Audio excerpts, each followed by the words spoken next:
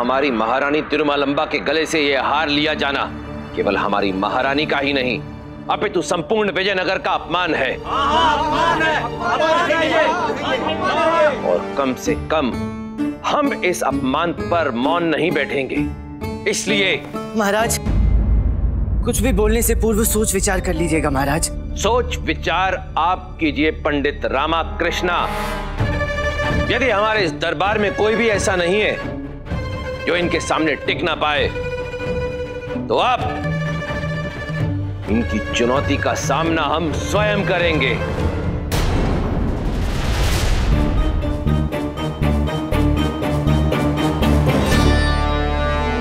किंतु महाराज आप पंडित रामाकृष्णा यदि आप इनकी चुनौती का सामना नहीं कर सकते तो कम से कम कोई विघ्न भी ना डालें।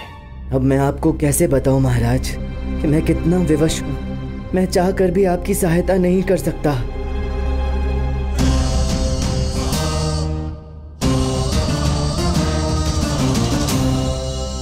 अब्दुल्ला जी हम आपकी इस चुनौती का सामना करेंगे। परंतु यदि हम विजयी हुए तो आपको गुरुवर तथाचार्य का आवास स्थान उनका धन और हमारी महारानी तिरुमालंबा का हार उन्हें वापस लौटाना होगा। ठीक है बादशाह सलामत मुझे आपकी शर्त मंजूर है। लेकिन मेरी भी एक शर्त है। अगर आप ये शर्त हार गए तो आपको अपना राजपाट मुझे सौंपना होगा।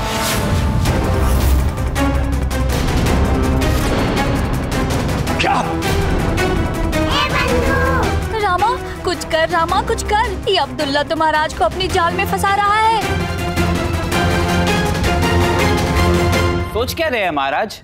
जल्दी बताइए। आपको मंजूर है कि नहीं?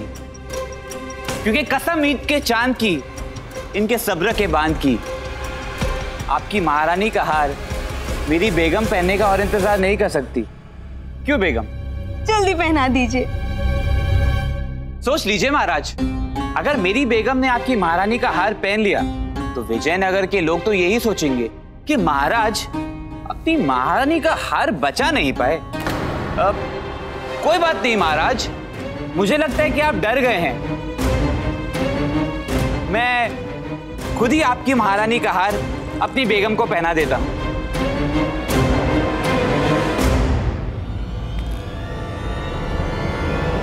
और रहमतुल्लाह बरकतुल्लाह अब्दुल्ला सीमा लांग रहे हो तुम। रुक जाइए महाराज रुक जाइए। रुक आप जाइए पंडित रामाकृष्णा।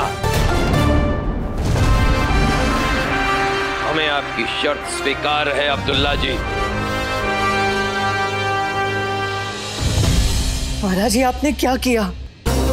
आप ऐसा कैसे कर सकते हैं? क्योंकि किसी भी राज्य पर मात्र उसके राजा का ही नहीं अभी तो उसकी प्रजा का भी अधिकार होता है। ऐसे में आप संपूर्ण राजपाट दांव पर कैसे लगा सकते हैं महाराज?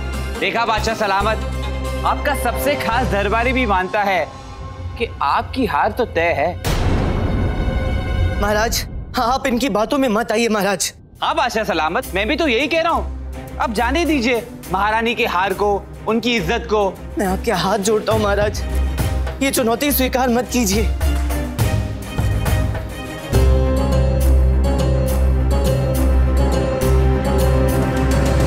पंडित रामाकृष्णा हमारी पत्नी महारानी तिरुमलंबा का अपमान हमारा अपमान है। पूर्ण विजयनगर का अपमान है। कदाचित आप इस अपमान पर मौन रह सकते हैं, परंतु हम नहीं। और हो सकता है कि आपको हमारी विजय पर संशय हो, परंतु हम अपनी विजय श्री को लेकर पूर्णतः आश्वस्त हैं। हम अब्दुल्ला जी की चुनौती स्वीकार करेंगे, प्रतियोगिता में इन्हें पराजित करेंगे, और गुरुवर का निवास स्थान, उनका धन और महारानी तिरुमालंबा का हार पुनः वापस प्राप्त करेंगे। किंतु महाराज पंडित रामाकृष्ण आप अभी इसी क्षण दरबार से बाहर चले जाइए।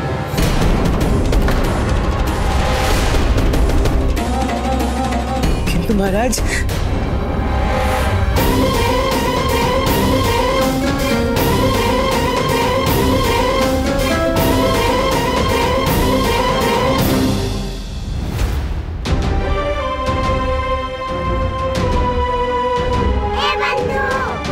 रामा, दरबार छोड़ने की सोचना भी मत।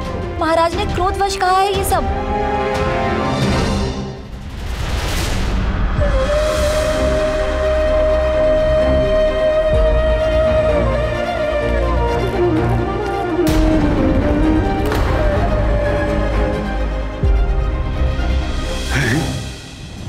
पंडित रामाकृष्णा को दरबार से अपमानित करके महाराज ने निकाल दिया।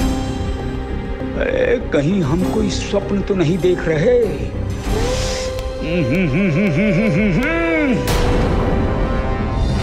तो बताइए अब्दुल्ला जी क्या है आपकी चुनौती? बादशाह सलामत कसम सूरत ताल की शतरंज की हर एक चाल की।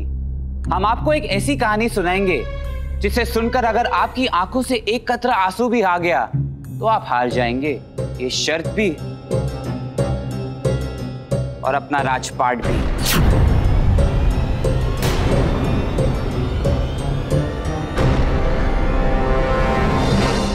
अब्दुल्ला, ऐसा क्या सुनाने वाला है जो हमारे महाराज को रुलाने वाला है?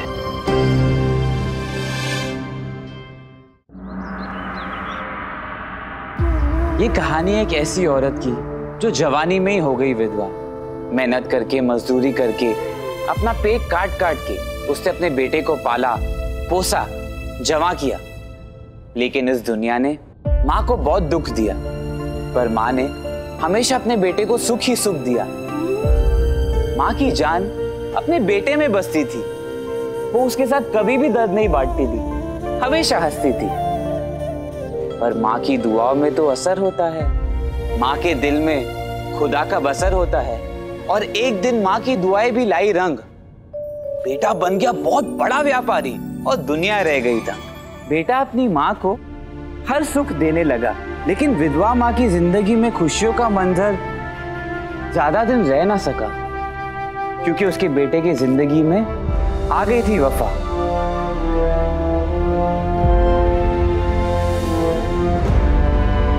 फिर बेटे को एक खूबसूरत लड़की से इश्क हो गया और वो उसके प्यार में खो गया। लड़की से उसने किया अपने प्यार का इजहार।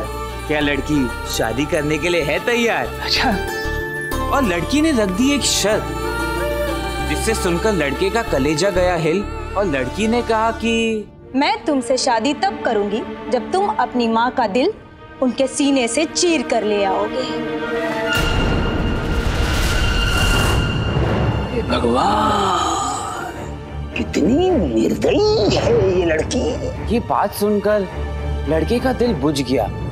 और वो रहने लगा उदास। उस लड़की की यादें रहने लगी उसके आसपास। लेकिन माँ से छिपी ना रह सकी ये बात और माँ पहुँची बेटे के पास एक रात। माँ के हाथ में छुरी थी, लेकिन उसे उम्मीद पूरी थी कि वो अपने बेटे का दुख दूर कर देगी और उसकी ज़िंदगी खुशियों से भर देगी। और माँ ने कहा कि, बेटा, मैं अपनी ज़िंदगी जी चुकी हूँ। सुख और दुख के प्याले पी चुकी हूँ। तेरी खुशियाँ कर रही है तेरा इंतज़ार। जा, जाकर जीत ले अपना प्यार। उस लड़की से शादी करके खुश रहेगा तू सदा। माँ होने का फ़र्ज़ मैं करूँगी अदा। मार के मेरे सीने पे छुरी, निकाल ले मेरा दिल। जाकर उस लड़की से मिल और कह दे उसे, मार कर तूने छुरी, निकाल के दिल। तूने शर्त की है पूरी। भगवान। बेटा हिचकिचाया। लेकिन लेकिन माँ ने उसे हौसला दिलाया।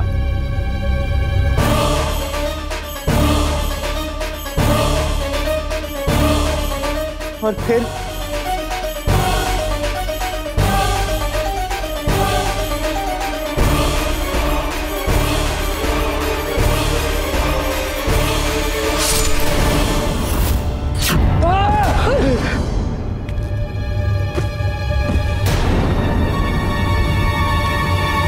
इश्क के लाल रंग के खातिर बेटे ने माँ के खून का लाल रंग दिया, बहा। माँ की रूह ने जीते रहे मेरे लाल, यही कहा। बेटे ने अपनी माँ का दिल उठाया और वो दौड़ा। भागा उस लड़की से मिलने पसीने से तर बतर। बेटे के पैर के नीचे आ गया एक पत्थर और बेटा गिरा। और उसकी माँ का दिल हाथ से गया छूट। सच कह रहा हूँ, ना समझना इसे झूठ। बेटे को गिरा हुआ देख, माँ के दिल से एक आवाज़ आई। बेटा, तुझे तुझे कहीं चोट तो नहीं आई? ये होती है माँ, जिसका दिल मरने के बाद भी अपने बच्चे को तकलीफ़ में देख के खड़ा उठा। ये होती है माँ माँ की ममता, माँ का प्रेम, माँ का त्याग। महाराज आप मत रोइएगा। और यही माँ यही माँ एक दिन अपने बच्चों को छोड़ के हमेशा हमेशा के लिए चली जाए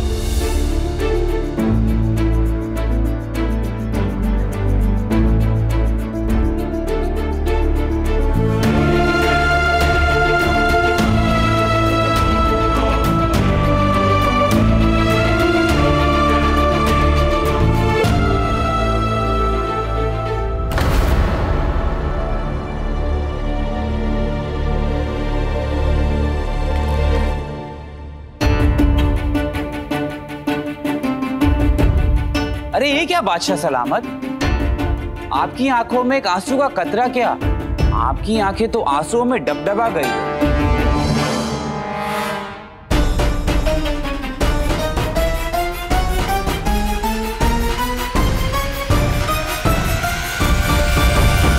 बादशाह सलामत, अफसोस! आप ये शर्त हार चुके हैं और आपका राजपाट भी। आपका राजमहल, आपका सिंहासन और आपका विजयनगर। अब हमारा हुआ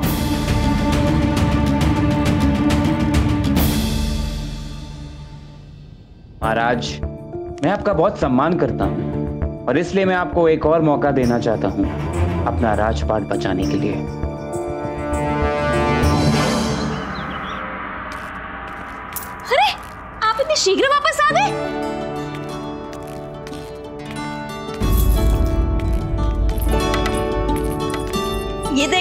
इतनी सारी मुद्राएँ। हम दोनों ने जो व्यवसाय प्रारंभ किया है उसमें इतनी अच्छी कमाई हो रही है। एक साहूकार ने अग्रिम धनराशि दी है। अम्मा ये स्वर्ण मुद्राएँ वापस लौटा दो। बुद्धि भ्रष्ट हो गई है तेरी? क्यों वापस कर दे? क्योंकि हमें विजयनगर छोड़कर जाना पड़ेगा। क्या? आपने पुनः कोई गड़बड़ की? आपको दरबार से निकाल जानती थी मैं। आप अपनी अत्यंत बुद्धि लगाते ना उसका परिणाम यही होगा। अब विजयनगर छोड़ के कहा जाएँगे हम? वही जहाँ से आए थे अपनी मातृभूमि अपने गाँव तेनाली।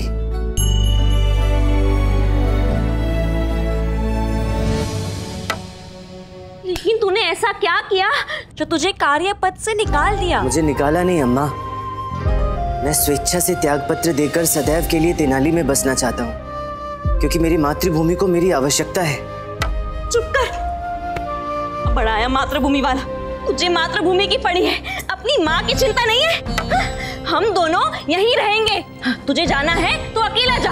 हाँ, हम दोनों अपना यही व्यवसाय चलाएँगे। हाँ चल शारदा।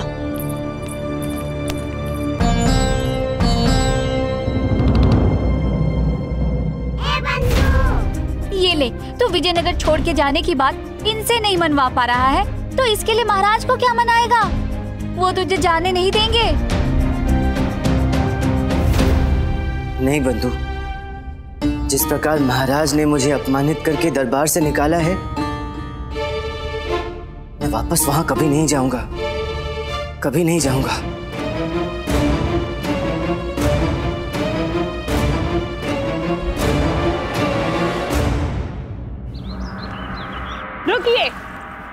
भूल कर भी हमारे इस पलंग को हाथ मत लगाइएगा। ये पलंग हमारे मायके की निशानी है। क्षमा कीजिए महारानी जी किंतु ये नई महारानी जी का आदेश है कि इस कक्ष को खाली करवाया जाए। नहीं महारानी?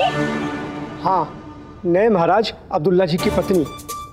क्योंकि अब ये राजपाट राजमहल सब उन लोगों का हो गया है। और सब महाराज जी ने आदेश दिया है कि जैसा वो लोग कहें तो वैसा ही कीजिए।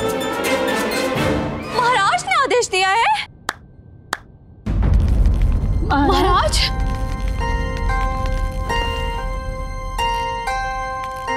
महाराज? महाराज ये सब क्या हो रहा है महाराज? आप कुछ कहते क्यों नहीं? महारानी ना तो हम अब कुछ कहने की स्थिति में हैं ना ही करने की। महारानी ये निर्णय तो कल ही लिया जाएगा कि ये राजपाट हमारा रहेगा अथवा नहीं।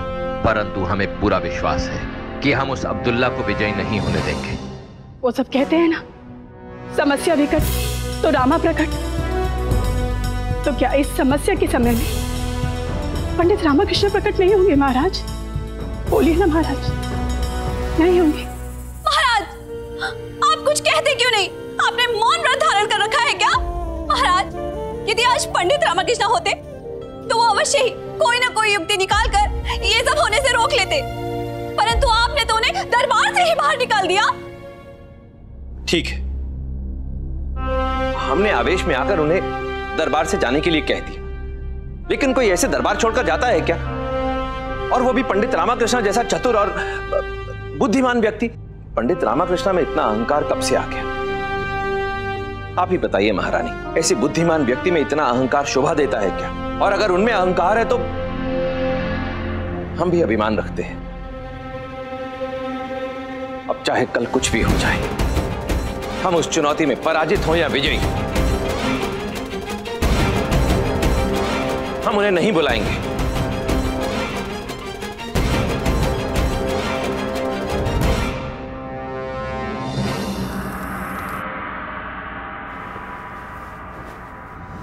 अब कभी वापस नहीं जाऊँगा।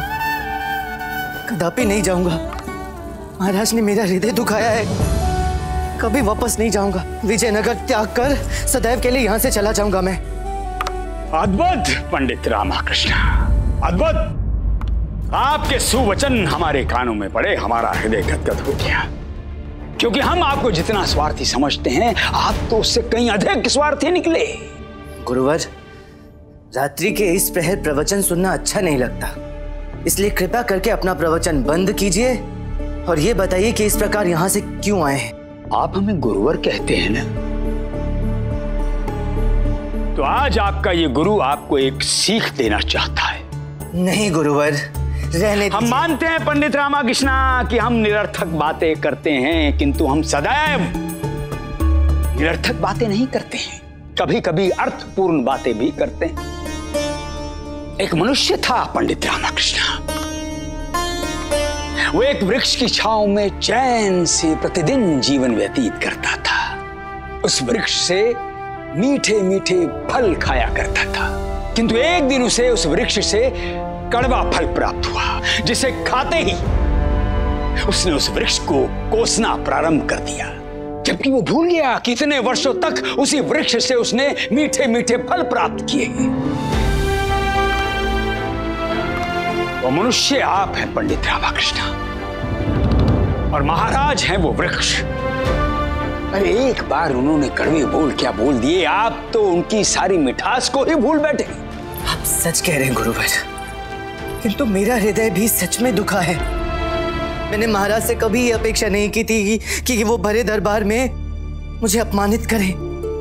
मैं तो केवल उन्हें समझाने की चेष्टा कर रहा था ना कि उस अब्दुल्ला की बातों में ना आए किंतु किंतु वो नहीं माने।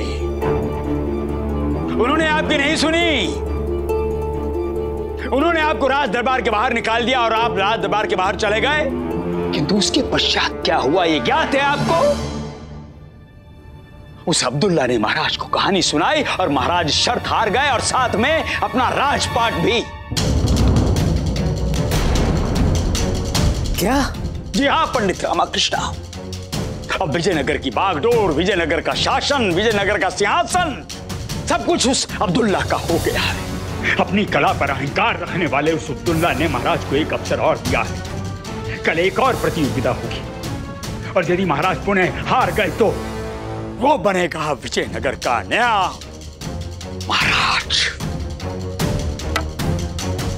ऐसा कभी नहीं होगा। जब तक मेरा रामा है तब तक वो महाराज पर और विजयनगर के सिंहासन पर कोई आँच नहीं आने देगा। और ये एक माँ का विश्वास है। हाँ रामा इस मुश्किल के समय में आपको महाराज का साथ नहीं छोड़ना चाहिए। हम भी देखते हैं। कैसे छोड़ते हैं ये उनका साथ। साथ तो महाराज ने छोड़ा है। अवश्य मेरे आत्मसम्मान को मेरा अहंकार समझ रहे होंगे। तभी तो इतना सब कुछ घटित होने के बाद भी मुझे मिलने नहीं बुलाया। तभी उनका अहंकार नहीं तो और क्या है? चलिए हमारे साथ महाराज के पास। बस गुरुवर। मैंने आपसे कहा ना अब मेरा किसी से कोई नाता नहीं है। और अम्मा, तुम भी सुन लो। मैं वापस राजमहल नहीं जाऊँगा तो नहीं जाऊँगा।